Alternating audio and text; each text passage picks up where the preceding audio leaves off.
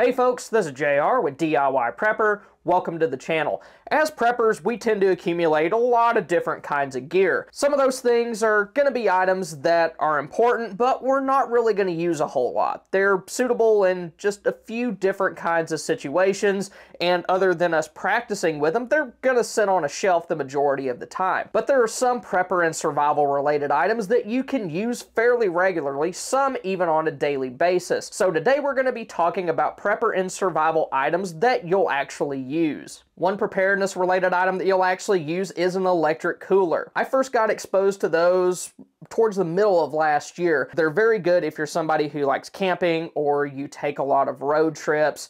They can be plugged into things like the 12 volt outlet in your car. You can also plug them into wall outlets in your home as well. From a preparedness standpoint, these are very good for power outages. Even if you have a small power station that can't run something like a full size box freezer or side by side refrigerator, they will still probably be able to power one of these 12 volt refrigerator freezers for at least a few hours. Those kind of appliances, they don't draw a whole lot of power. Usually I think it's between 40 and 60 watts. So that's well within the capabilities of even some very, very small power stations. And some 12 volt fridges like this one even have their own rechargeable battery. So that means that even if you don't have a way to generate power, as long as that battery's charged up, you'll be able to protect maybe your most expensive groceries, things like meat, dairy, for at least a little while. And having something like this is especially advantageous if you're somebody who needs refrigerated medications, things like insulin. You'll be able to keep those medications cool for a little while. And aside from preparedness, they're also good for just everyday uses as well. We used this one on a road trip last summer. I gave the smaller one to my dad. He travels a lot for his job, and it's nice just for keeping small things like drinks cool as he's traveling. Another prepper and survival related item that you'll actually use is cast iron cookware. And I really like mine. I've inherited some from my grandmother and then I bought other pieces myself. Cast iron cookware can be used in so many different situations. You can use it on an electric stovetop, you can use it on an open flame, you can throw it in your oven. You can do pretty much whatever you need to with it and if you take care of it, it'll last for generations. Like I said, I got mine from my grandmother. So, I mean, this is a multi generational prep that you can use whether you're at home or you're cooking on a campfire. Heaters and fans are some more prepper and survival related items that you'll actually use. Like right now, I'm using my buddy heater to help me stay warm in my shop here. It's winter, it's not attached to our like heating and AC system, so it can get kind of cold in here and that helps. Then other things like fans for the summer, you can use those to help you stay cool. Maybe you just need a little bit more air circulation. They're good for that. Or if you need to dry something out, like maybe you've cleaned the floor mats in your car, you shampooed them or something, you want to dry them out real quick, then those kind of fans can be good for that. The next piece of prepper and survival gear that you'll actually use is LED lighting and what you'll use just depends on your circumstances. For EDC, I like to keep a flashlight on my body, but also like to keep a headlamp in my bag in case I'm somewhere and I need some sort of hands-free lighting method. LED lanterns are a better choice for home use during things like power outages, and I have several that I've used over the years. Like I have this one that runs on just regular D cells, although I do put rechargeables in there. And I also have some that run on power tool batteries. And I use those a whole lot before I got like my generator and before I got some solar power options. Those batteries, they can hold a lot of energy and the lights themselves are pretty energy efficient. And ones like this one can also charge your cell phone. And while having some nicer lights is always good, it doesn't hurt to have some cheapies lying around also. Like I've lost lost track of how many of those little Harbor Freight blue lights that I have. Things like that, they're very good for just keeping in like your hallway closet or the drawer in your bathroom so that you have a light pretty much anywhere that you may need it when the power goes out. And one option that you don't see mentioned a whole lot are rechargeable light bulbs. These are very good for rooms that you may be in that don't have anything like a window that'll let any exterior light in. Take our bathroom for example. It doesn't have any windows, so if you're in the shower or sitting on the toilet when the power goes out, you're just in a lot of trouble. But since we put those in, if the power goes out, those lights, they may dim a little bit, but they'll stay on and it gives you plenty of light to finish up doing what you need to do. Another prepper and survival related item that you'll actually use are Grayl water purifiers. And what I like about these is that they can be used in a wide range of situations.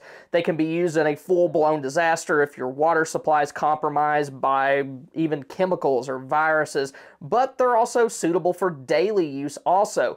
I used this one at work for a little while and it looks just like a regular sport water bottle. You can take that pretty much anywhere and it's not going to stick out. As long as people don't see you actually filtering the water, then nobody's really going to know any different unless you say anything. And I actually have two now. I had to get a smaller one so it'll fit in my EDC bag, but regardless of the size that you get, whether you get a GeoPress like this one or an Ultra Press, which is their smaller one, it's going to be able to remove bacteria, protozoa, viruses, and a lot of different kinds of chemicals. So it's going to be a lot more effective than some other products on the market like Sawyer filters. They can only remove bacteria, protozoa, microplastics, and sediment. So if you're in an urban environment, they're not really going to remove everything that you need them to, but a Grayl will because it's actually classified as a water purifier and not just a filter. Another prepper survival related item that you'll actually use is a generator. And I have both gas and solar power options.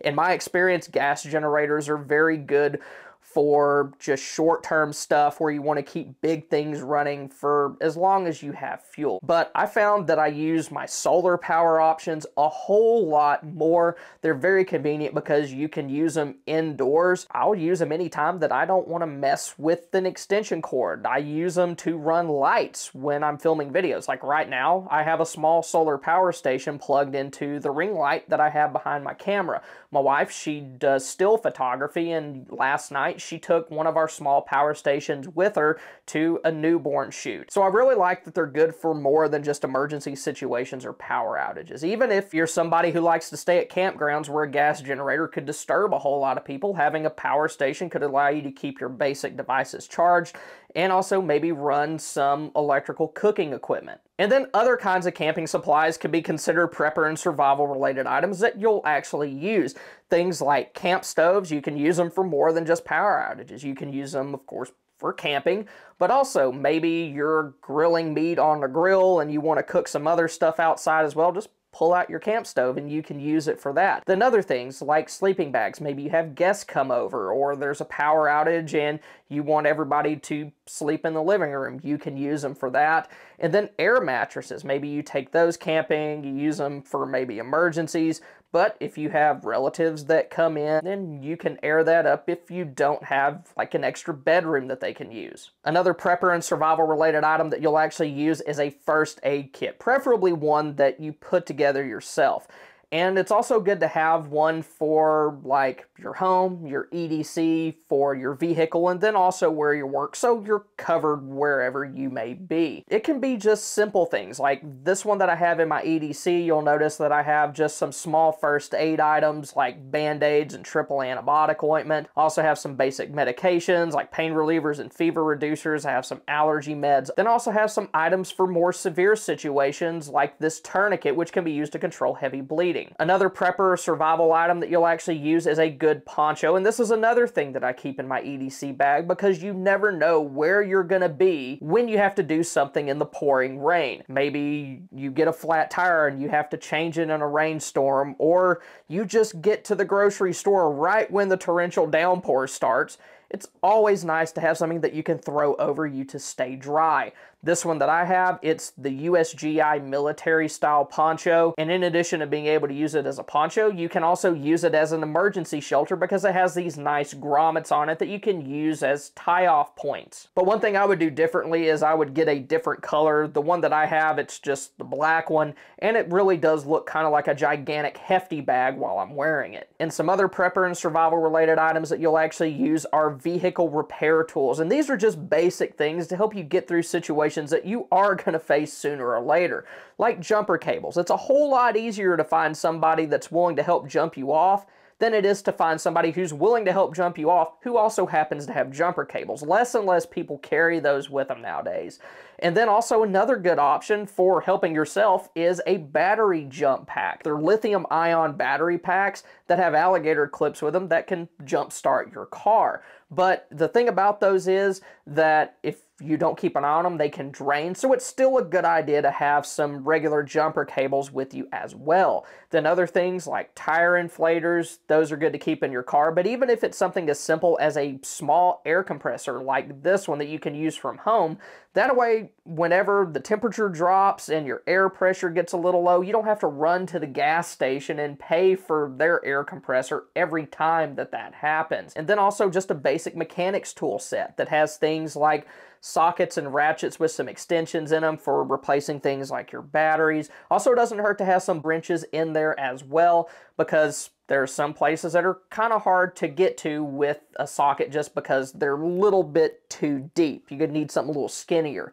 Also things like a multi-bit screwdriver to help you replace lights and other things. Another kind of prepper survival gear that you'll actually use is different kinds of clothing. Right now we're in winter, so the focus is more on cold weather things. Things like wool beanies, wool socks, wool thermals, but also you could put other things in here as well like boots but it doesn't hurt to have more general purpose clothing either, like hiking shoes that you can use year round, or maybe it's just something as simple as upgrading the insoles in shoes that you already have. That can make a big difference in different kinds of footwear. And then for warmer weather, it wouldn't hurt to have things like moisture wicking shirts that can help you stay dry and cool. Another item that you'll actually use is Mylar bags. When I first started prepping, I didn't store a lot of the foods that I should have been, mainly because I didn't have a way to preserve them long term. For some reason, I put off getting things like Mylar bags. But when I eventually did get them, I noticed that I stored a lot more food regularly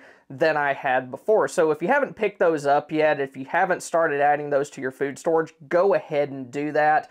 They're going to be really good for blocking out air, light, and moisture, kind of the main things that'll cause your food to go bad. But another thing I like to do with Mylar bags is use them to save seeds. Maybe I just had some left over that I ordered, or you can also use them to save seeds that you harvest from your garden and other people, they have used Mylar bags to store other things like ammunition as well. And a lot of people ask, why do you prefer Mylar bags over vacuum seal bags? One reason is that vacuum seal bags, most of them tend to be transparent, so they let light pass through them. But even more importantly, over time, that seal can start to degrade. It's kind of a weak point with those. And once that seal fails, then it'll let other things like air and moisture in as well. When you seal up a Mylar bag, they're pretty much sealed forever. Now, of course, there are some vacuum seal bags that are Mylar. They're kind of textured so that machine can suck the air out, and those might be okay. I haven't had much experience with those. If you want to see more prepper and survival related items that you'll actually use, go ahead and check this out. Thank y'all for stopping by. Y'all have a good one.